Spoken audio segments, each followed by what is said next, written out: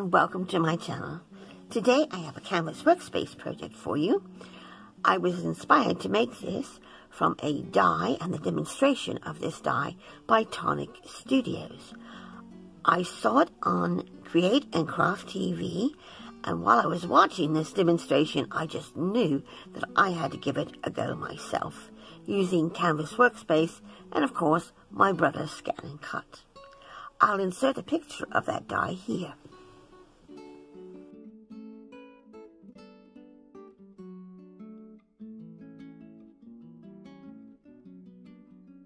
Here is what I came up with. This is my version of what I've called the Love Heart frame card. It was very straightforward, easy to do, and quite satisfying to know that I could recreate something that I had fallen in love with. Of course, this is just the basic die itself, so however you want to decorate it, uh, additional layers, inserts, whatever you like uh, for embellishments will make it uniquely your own. And here's what I came up with. This is my finished card. It might be a bit difficult to see with this mirror card, but if I put that over top of it, I'll be able to point out some of the additional things that I did, such as these cutouts here, these geometric shapes, which are cut into the mirror card as well. And then the hearts, I've added a frame around them.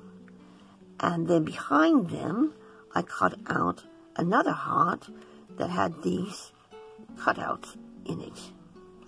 And this was from a pattern that is in the machine. I just manipulated it a bit uh, to get it to fit inside of here. And then I put some, also some uh, paper piecing in these corners to continue this paper. So, if you'd like to learn how to do this, then stick with me and I'll show you how.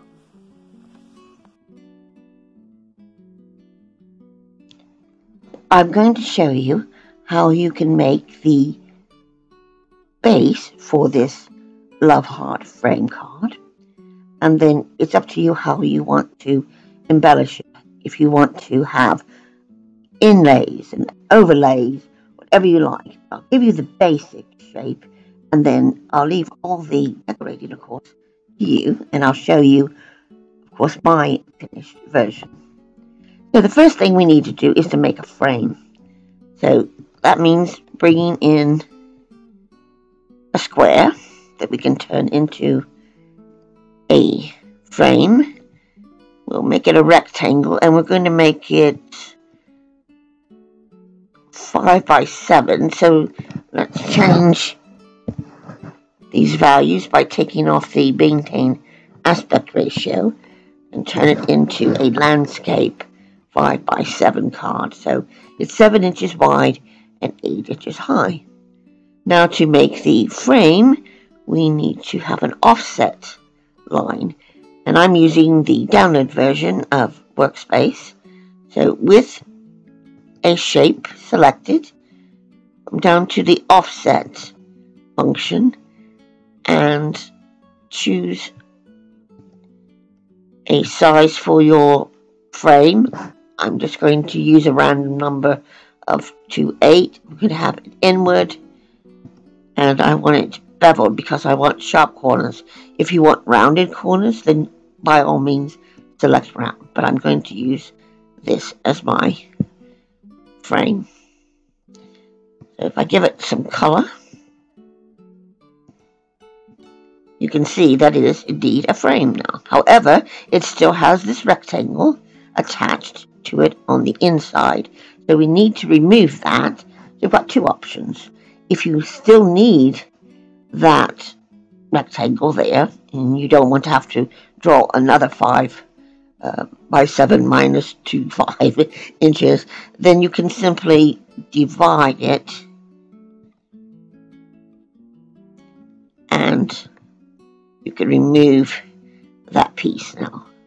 So that is 6.45 by 4.45. So if you need that, by all means, just do that. If you don't, however, you can simply use the subtract process overlap and it will punch it out for you. So now all you're left with is indeed the frame because you can see the grid lines behind that so you know there's nothing there now. The next thing we need to do are to place some horizontal and vertical columns for the hearts to be suspended from and uh, welded to. So that I'm going to go back to square and I'm just going to resize it. I think I made mine somewhere between 0.14 and 1.5 so that they weren't too small and yet not too big as well so just something like that.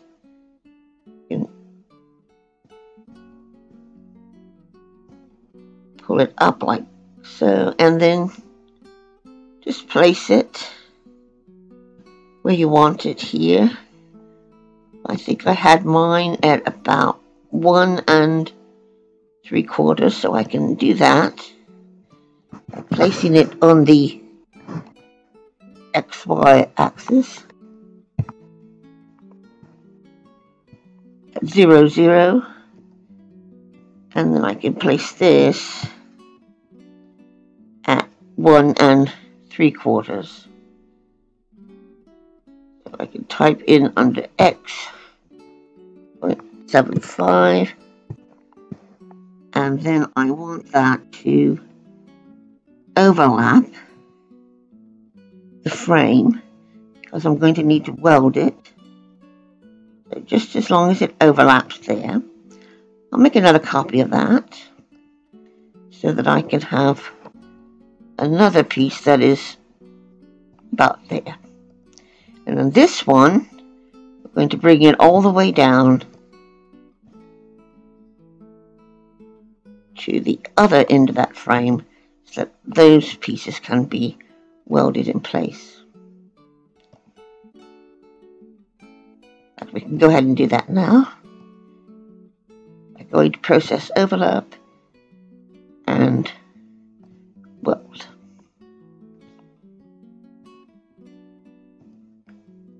So this is what we have so far. Next is to place the horizontal frames. So they are going to go into this last panel. Back to square. And we can make that also 0.15 like we did the others. And then just make sure that they're going to go across here like this. And then you can decide how you want to have these. You could have them equally spaced, or you could do like I'm going to do here where I had one there, and then I duplicated and had another down here. So I had a little bit bigger box here. However you want to do it, it's up to you. You could measure that out and decide you want to divide it equally or just have it random, like so. Then you would highlight that, go to process overlap, and weld that. And now you're ready to put your heart into place. For the heart, I chose the plain heart. You can choose a fancier one if you like.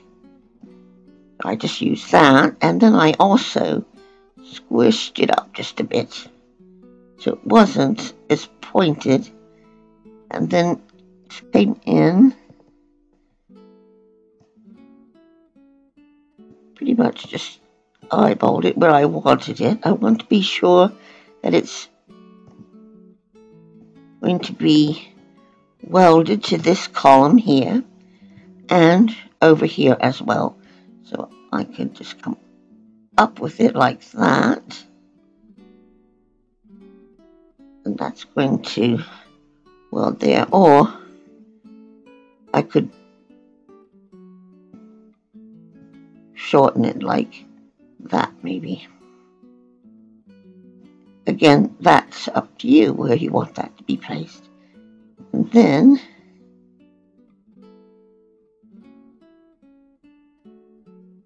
I'll make a copy of it.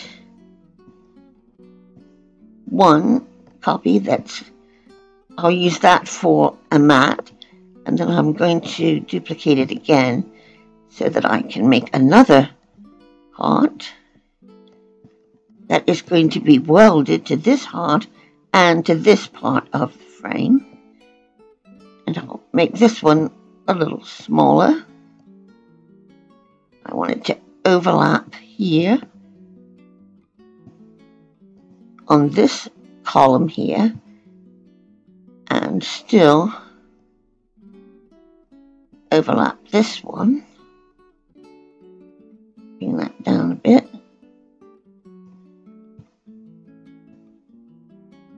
Like so. And then I can have that down to the bottom there.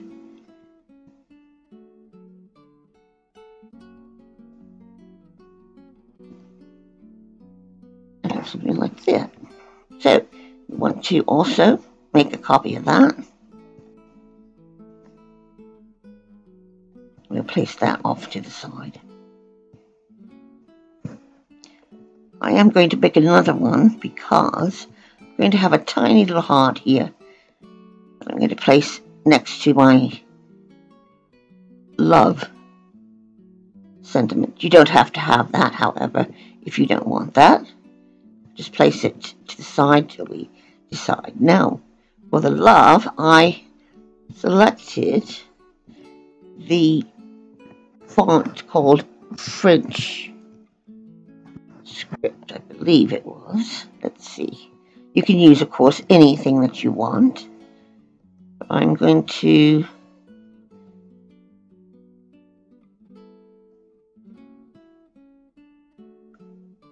use French. Yes, there it is. I think that's it. French script. I believe that's it. Yes. Right. And then it's going to go down here in this area so that it'll be welded to the frame.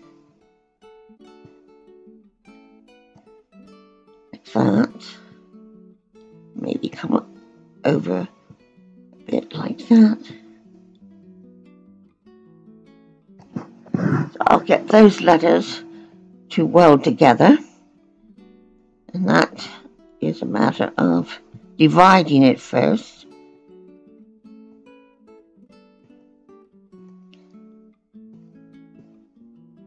Right, and this is a little different because we have these sections here that we really don't need so we can get rid of that.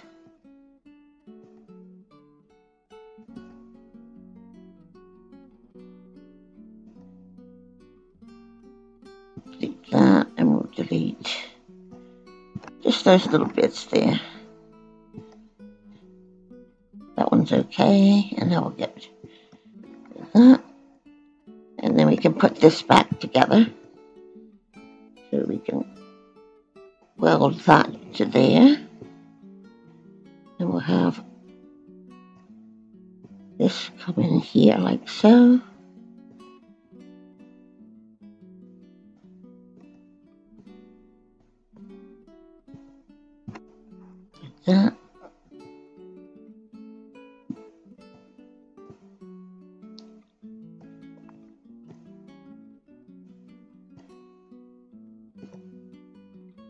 I'll line them to the bottom.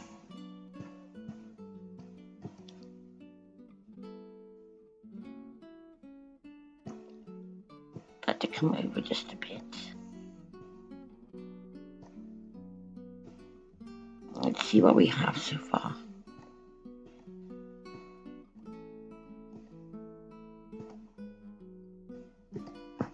there we are, word love.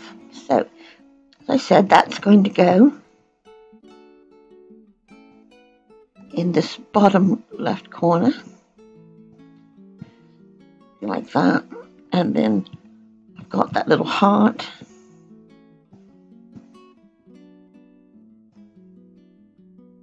Also going to attach somewhere around there.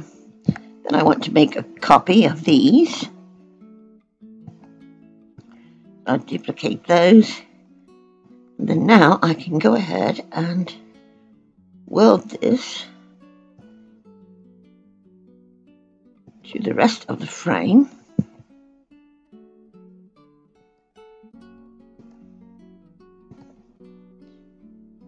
And if I zoom out, you can see there is your frame completed. Now, when you cut this out, you're going to have this wastage. You're going to have this, this, all of these, and of course down here. Now, what I've done is to inlay this with a sort of geometric pattern, but you can put whatever you like in there. You could have flowers, you could have circles, you could just have, uh, you know, any pattern. You could have more hearts if you wanted to in there. It doesn't matter. You could not have anything in there as well and just use your pattern paper to perhaps um, paper piece it. You could just lay this over top of a background uh, paper and use that to fill these parts in. Or, as I said, you could just paper piece them in. So you could have maybe even different colors, different patterns, whatever you like. But it is that simple do. So for these, what I've done is going to bring these to the front. And I'll give them some color.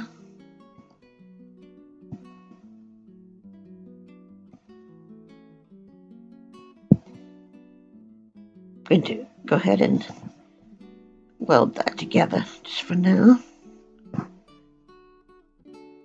Actually, I won't because I want to cut. If I want to cut this out of a different uh, cardstock, I would want to do that separately so I can always just do it that way so it's on top. If you wanted to, you could have a drop shadow as well. So you could place your letters off to the side like that, or like that, however you want it. Or you could just have it completely over top and cover it. Or you could come down and you could offset that a little bit and make a another version. Let's try this. We'll do inward. Go down to 0.04.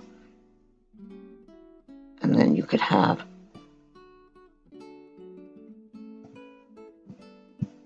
this instead. So we can give that some color. You could have that in there in case you want to punch that out. Oops.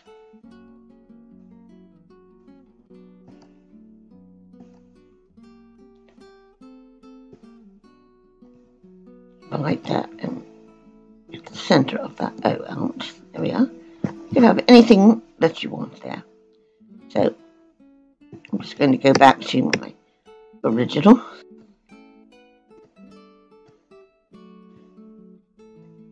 Put that back in. And then you can either bring in your hearts over top of these like that. Or you could, as I did, do an offset line. I did an inward offset line. Something like this. and then put that on top. Do the same with this one.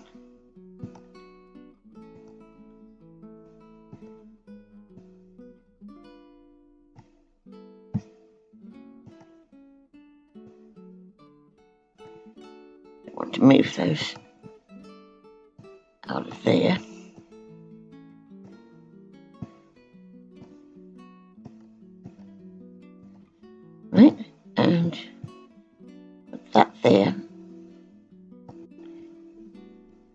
Could have those separate or, in my case, I actually decided to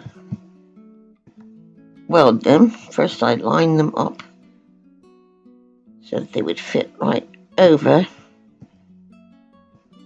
that base piece.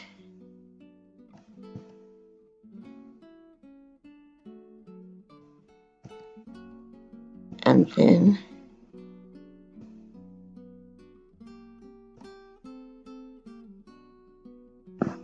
I welded these together.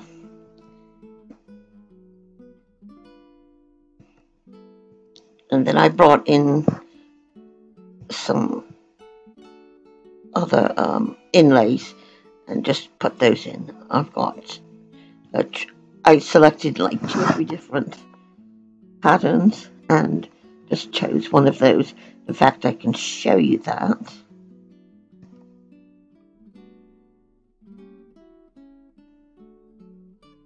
See.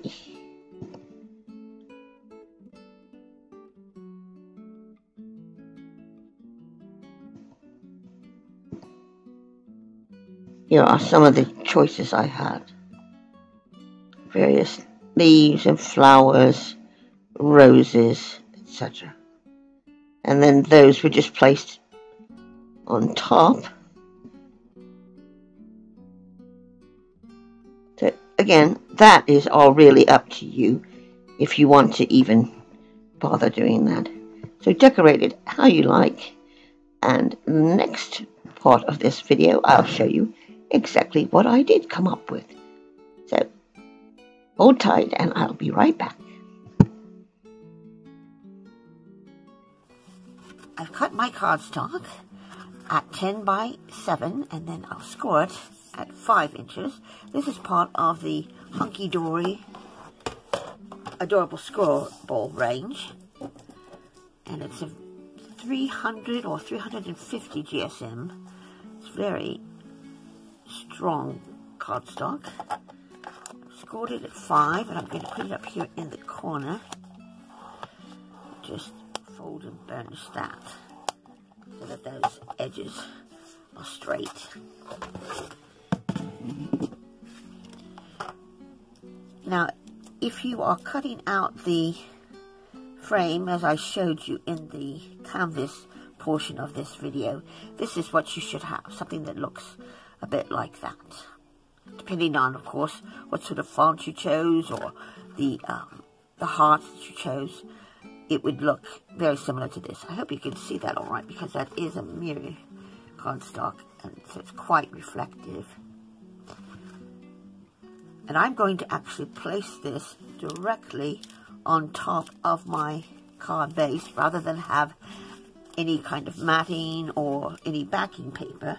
But I'm going to use, of course, the one that I made for my card, and that's this one. So as you can see, it is the frame, but in these portions here, I've actually inlaid and attached these little geometric shapes there. So I can put that there. Then I've got the frame for my heart. And then for the inside of that will be this. And that's another piece that I've just cut out a pattern inside of the hearts. And then there were little like flowers here that were that left large apertures. So I decided to paper piece that with the same paper that I used for the, the frame. You can see on the back there, all I did was just glue those on the back. And then, of course, I've got my love sentiment, which is from the same paper as the frame, and that's going to go on there. So let's get these put in place.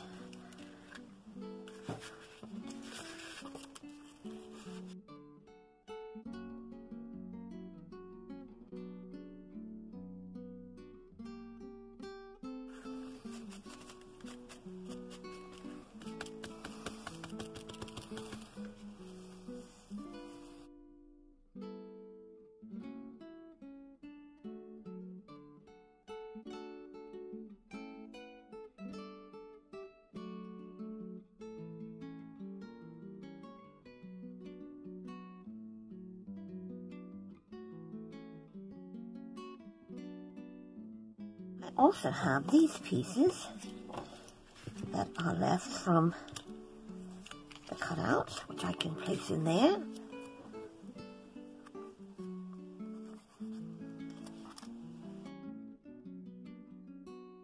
Bring in a few of these little flat back pearls.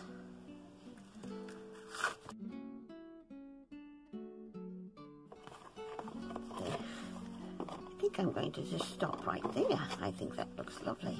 I hope you can see that all right. Now it's quite reflective. If I move it about a little bit. That is the Tonic Studios inspired Love Heart frame card. Thank you so much for joining me today for this Canvas Workspace tutorial. I do hope you enjoyed it.